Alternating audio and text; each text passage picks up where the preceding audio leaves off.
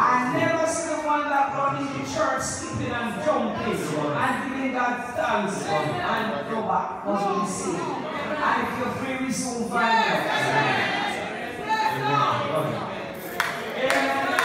It's not just here, sir.